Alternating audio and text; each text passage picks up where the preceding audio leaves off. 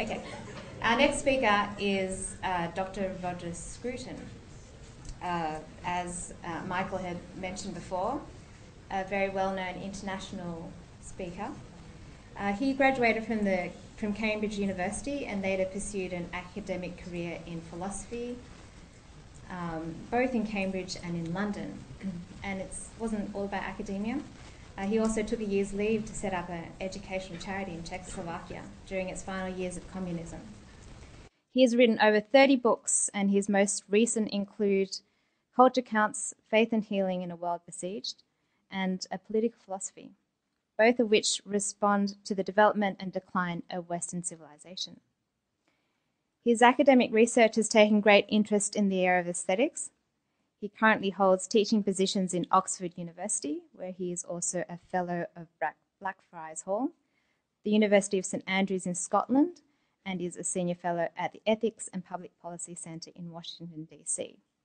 So, one of Britain's leading intellectuals, I'm sure we're all eager to hear what he has to say to us about pop music's impact on language, culture, and sex. Please welcome Dr. Scruton.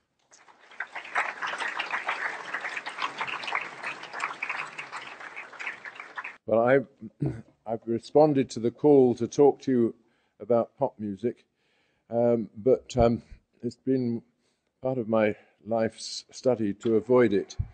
Uh, so I won't talk with any authority, but I, I want to talk about some more general questions about what music and art in general means to us uh, and why we have to make judgments about these things. Uh, and um, uh, uh Dr. Mullins has just said some very interesting things, which I'm sure have already predisposed you to the thought uh, that not everything that we do in our spare time is actually good for us.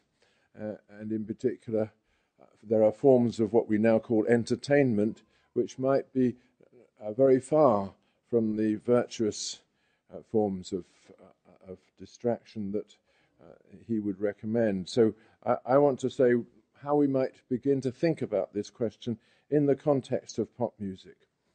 Music has been important in every civilization, obviously. It seems to be a natural part of the human condition and part of our ways of relating to each other socially.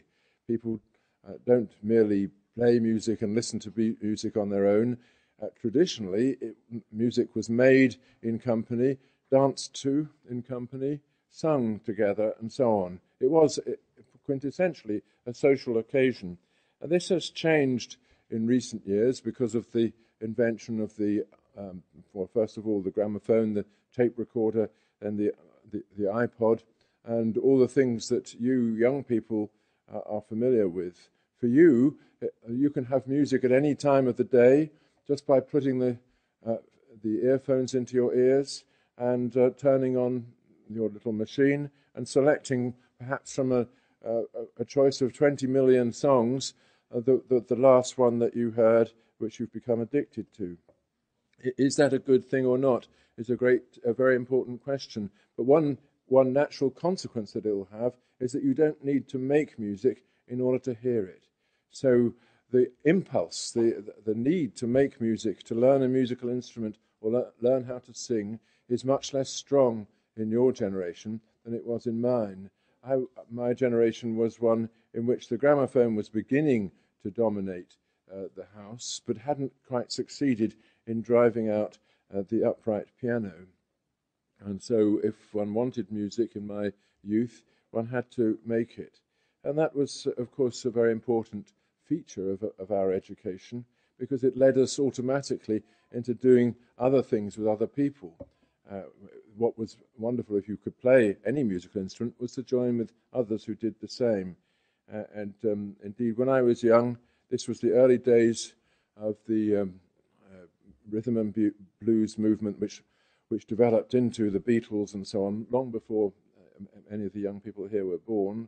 In which um, we all wanted to imitate that peculiar sound and did our best to make uh, a, a, version of it, uh, because it wasn't easily available in any other way. So we make judgments about a lot of, a lot of things. Music is one of them, and music is now omnipresent. Uh, I'm staying in this hotel, um, and of course, the first thing that I encountered on coming down in the morning uh, was music. Music of an utterly detestable kind to me, which made it impossible for me to have my breakfast. But for most people, um, this ambient music is an important part of the digestive system. Uh, and uh, so, uh, inevitably, I felt somewhat alienated from my surroundings. But it brought home to me again the great question of how you do distinguish the good from the bad in this area, whether we should try to distinguish at all. Now, uh, we have many different interests in our lives. Uh, some things we judge to be good absolutely when we judge them, others we judge to be good merely as a means, in other words, merely useful. We are surrounded by useful things, uh, but um, good things, things which maybe have no particular use for us, but we just want to be in the presence of, those are rare. We have to work for them and we have to try to achieve them. In the case of music, it's very difficult to, to um, formulate the idea that some music is good in itself uh, and is understood not simply because it might be useful. After all, what is the use of music? Uh, many people uh, faced with that question, like the, the uh, managers of this hotel, have a clear answer. The use of music in this hotel is the same as its use in um, a, a, milking parlour on a, on a cattle farm. You know, it keeps the, the animals calm. Uh, and that means they won't complain about the rubbish they're given to eat at breakfast. Uh, and uh, there is plenty of such uses of music, uh, uh, which, um, uh, again, you find not only in hotels, but all over the world in which we are now, in airports, places where human beings are briefly trapped between one bus and the next, and their senses assaulted with the kind of rubbish that will stop them from complaining, uh, and except the few like me who complain about the rubbish.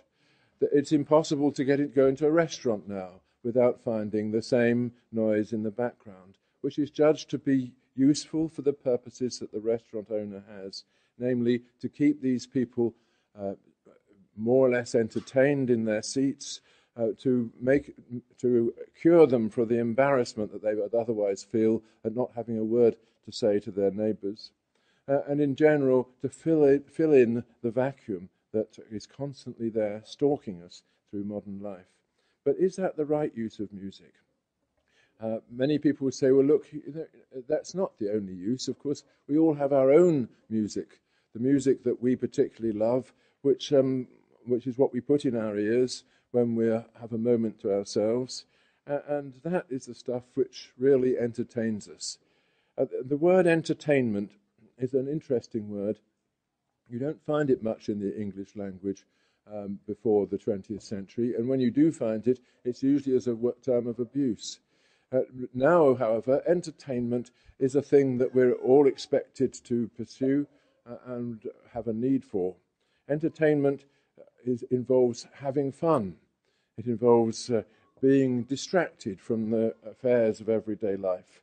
It involves uh, relaxing, taking a time off, being out of the, uh, the strain and the stress of, of actually um, working or producing something.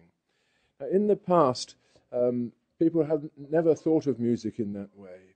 It wasn't part of having fun or relaxing, or it, perhaps it was part of it was part of relaxing. It wasn't, it wasn't a, a, a time off from life. It was a part of life. It was something that you encountered.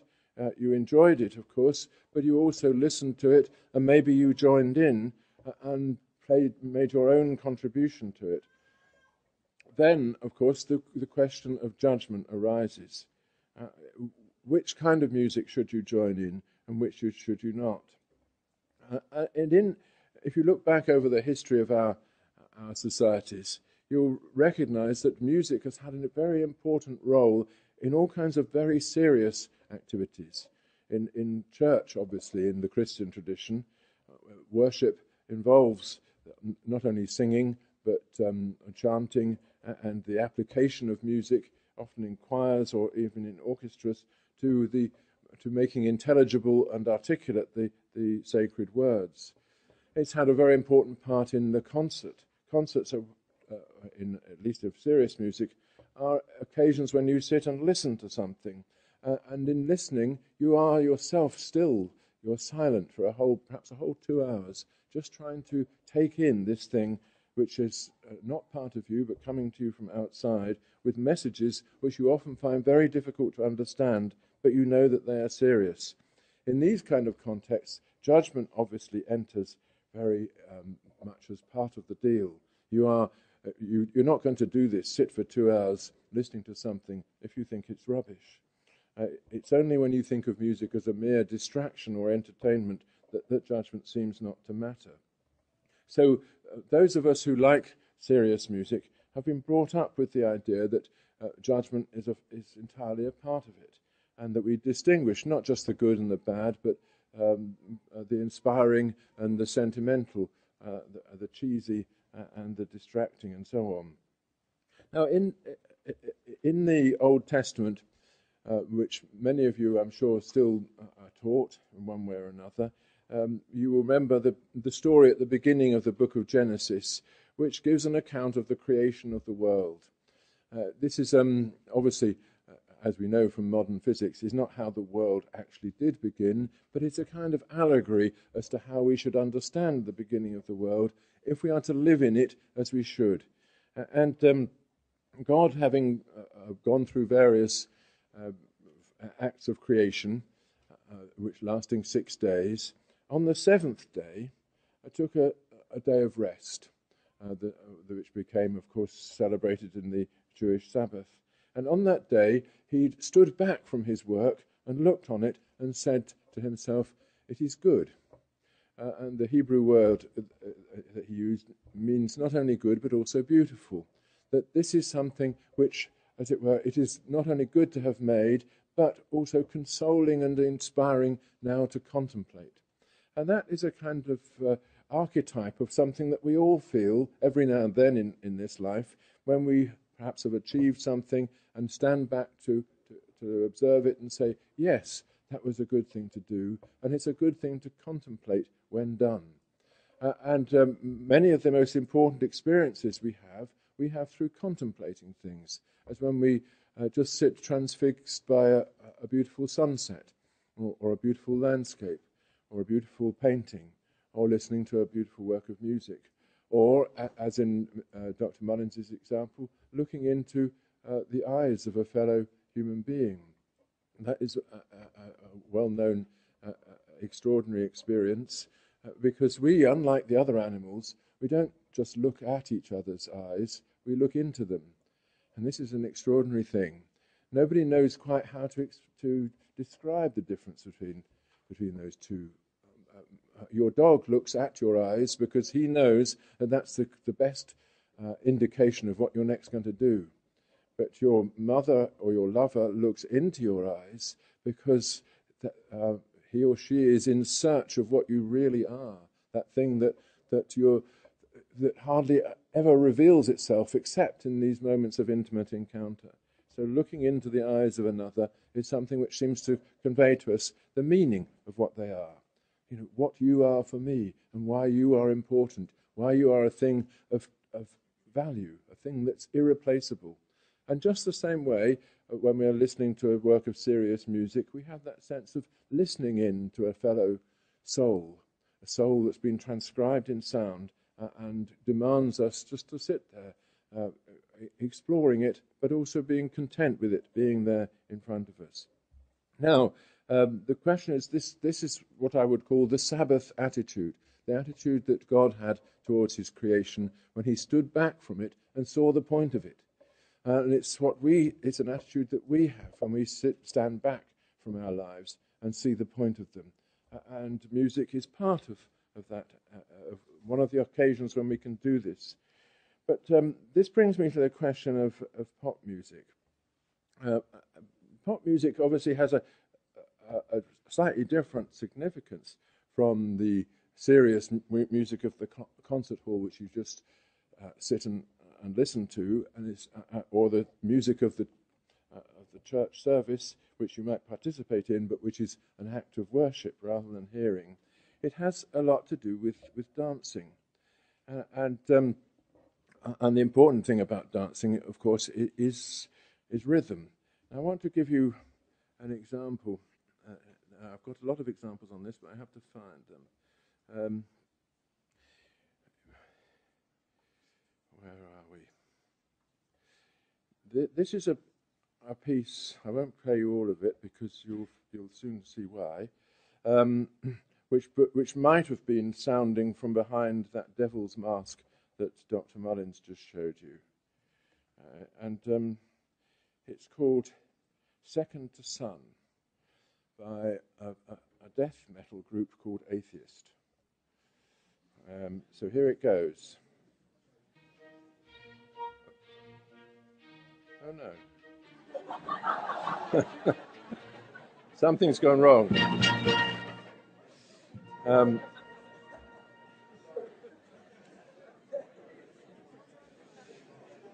well,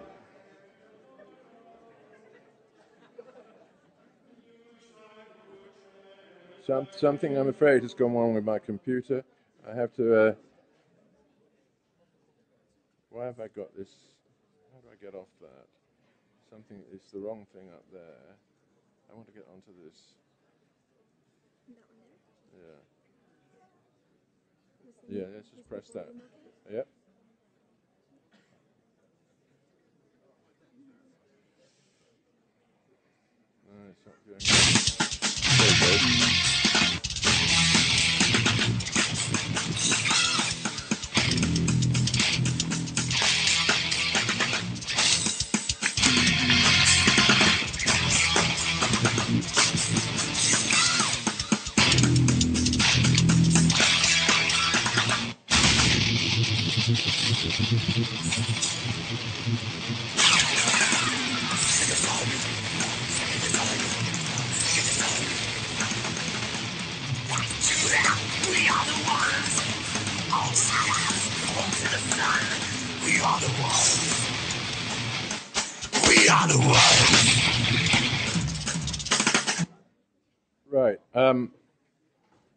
Now, most uh, most adults in the room uh, would say of that uh, that it's extremely sinister. Um, but uh, of course, uh, um, the words which you didn't hear um, uh, confirm the impression. The words say, "Second to sun, second to sun, like Jupiter, we are the ones. All atoms report to the sun. We are the ones." It goes on report, uh, repeating this claiming that life has really fallen apart. All we are is atoms, and um, the only thing that we have to worship is the sun now. Um, uh, and uh, most, I think, most musicians in this room will recognise that uh, the person playing the drums there was a real musician. You, know, you don't get that kind of uh, technique just just by being a, hitting a, a, stick on a piece of uh, parchment. It's something which you have to learn. So there's a lot of technique in it, but at the same time, there is a kind of aggression towards the world, an aggression which actually prevents the group itself from singing. They, they croak out the words uh, as though um, with their last breath, uh, and um, and they can't actually make themselves heard over their own noise. But nevertheless, uh, this has a, a, following, this kind of music, and there's a real question as to uh, as to why. Uh, you can't dance to it. You could, uh, and one of the interesting things is that people have tried, do try to dance to metal. They end up bashing each other's heads or, or pushing into each other, throwing pe- each other around. They don't dance with each other, they dance at each other, uh, like, like uh, boxers in a ring. Uh, and that, that contrast, I'll see if I can get a, um, a, a proper piece of dancing so that you can. Um, I, know, um, I, I, don't trust this computer anymore, I'm afraid. Um, where have we got to? Here you go. Let's see if that will go. There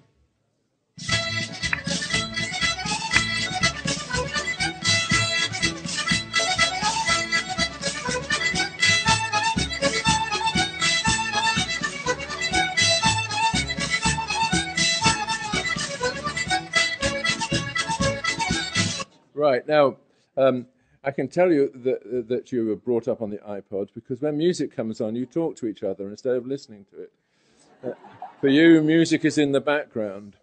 Um, that, uh, uh, as you may know, is a Scottish reel, uh, and, and, it expresses in its very rhythm uh, and harmonies the idea of dancing with the music rather than at something. Uh, you join in, and of course, the dances that that kind of music uh, is designed for, that's an Eightsome reel, they're, they're dances, dances which involve formations. 16 people in a ring who change partner all the time. So it's of no great erotic significance. Even if you enter the dance with the girl that you really want, you'll be, end up dancing with her grandmother. Uh, and um, this is, uh, this is a, a, a, wonderful discipline for young people when they're forced to recognize that dancing is something that all of us need and is a genuine social activity which can be detached from the, uh, you know, our erotic ambitions. Uh, now, in all this, there is a, a, real question of you know, how, how one begins to judge. We know that some kind of popular music is bound to be in our vicinity, and we're bound to, uh, our younger members are bound to need it. They need to dance, or they need to move to things, because that's part of, part not only of growing up and understanding your own body, but it's also part of you relating to other people. You relate to a great extent through your movements, and one of the purposes of dancing is to overcome the embarrassment of being a merely physical thing. Uh, and um, in the proper dance, you can dance with the other without embarrassment, and that is something which people, I think, long for. And one of the things that that um, pop music, to a certain extent, has jeopardized. And one of the reasons for this is that um, rhythm is not the same thing as a mechanical beat. Uh, and that is a, a, a, strong point, of course, of heavy metal, which it, it, makes that very clear. You can't, you can't produce that kind of sound that, uh, that um, uh, Atheist, the band called Atheist, just produced by plugging in a, a rhythm machine. Uh, the, that piece sometimes has only 18, 18 and a half beats in the bar, or, or 21 beats in the bar. You know, it's, it's constantly fighting against itself, giving you a sense of this captured life which can't break out of the prison that it's made for itself. But it isn't rhythm either. Uh, and I'll give you a, a, an example of real rhythm in, in, pop music, which I think is a lesson that we should uh, take to heart, um, because this is rhythm created by a human voice without backing, without a rhythm machine or anything like that rhythm which is then taken up by um, the little band of instrumentalists that go with it. This is Heartbreak Hotel by Elvis Presley, which you may very well know. Um, oh, it says my computer is not authorized to play it. Oh dear. Uh, um, let's try this one. Well, since my baby left me, well, I found a new place to dwell. Well, it's down at the end of Lonely Street, that lonely, baby. Well, I'm so lonely. I'll be so lonely I could die. Although it's always crowded, you still can find some room for broken-hearted lovers to cry there in the gloom. Be so. Right, so that is the very opposite of a, of a mechanized sound, isn't it? It's the, the, the human voice used to create a, a rhythm starting on an offbeat, um, going through all kinds of uh, broken uh, rhythms before, before the double bass comes in and equalizes everything in, on four and a bar. You know, there is a rhythm that's created out of the life of a human being. And it doesn't have to be a voice either. I'll give you another example. This is from uh, early days of pop music, obviously. This is Lay Down Sally by Eric Clapton, where the acoustic guitar is used in the same way.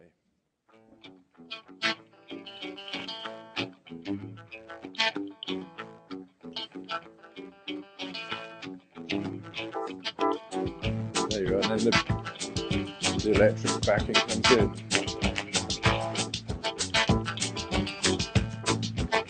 You see that, that there, there the rhythm is created musically and melodically before any he- backing comes in to emphasize it.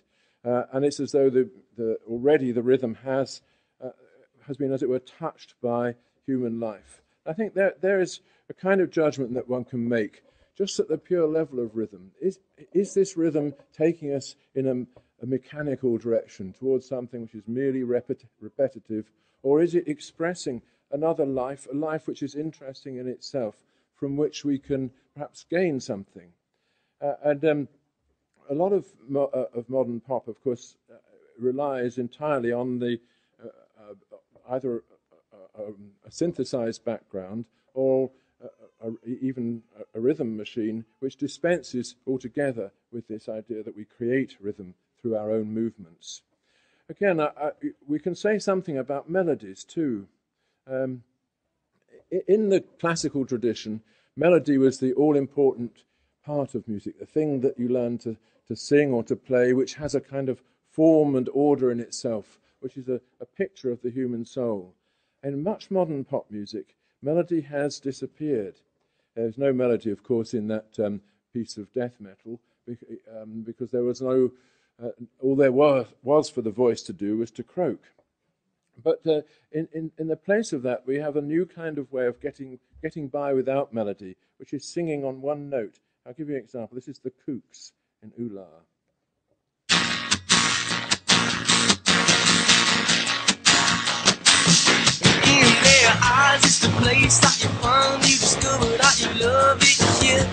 To stay on this rock, Muscle Rock, an island on which you found a love. Then you twitch, you feel that it. Anyway, you could see that, um, and it goes on forever. Um, and uh, in case you think that's uh, an unusual one, I think um, I think uh, uh, this is a, much more popular and better known one, "Poker Face" by Lady Gaga. With a synthesized background.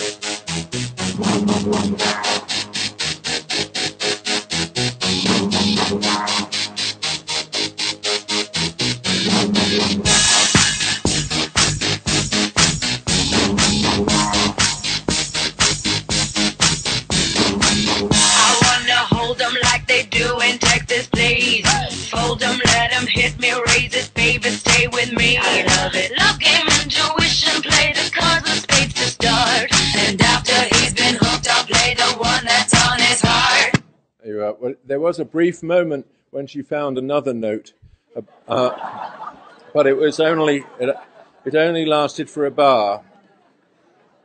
Right, so um, I could give a lot more of the examples of this, but what I really want to talk about is is how you begin to judge this kind of thing and, and why when when we move in a mechanical way uh, to a machine which is just generating that thump thump thump in the background, uh, our bodies move likewise. Even if we're not moving physically, we're as it were moving uh, incipiently. Something is going on in us which wants to move with it. Uh, and I think for that reason, we have to be careful about the kind of things that we move with. There's a great difference, uh, and uh, this has already been mentioned by Dr. Mullins, between um, uh, addictive uh, practices and ones which, in which there's an exercise of choice. In, in every area, we, we make a distinction between the things that, uh, that we choose to do and which express our freedom and our willing participation in things, and the things which we're compelled to do or uh, uh, which overcome our will, so to speak, and drag us into some kind of mechanistic activity that we don't really want but can't resist.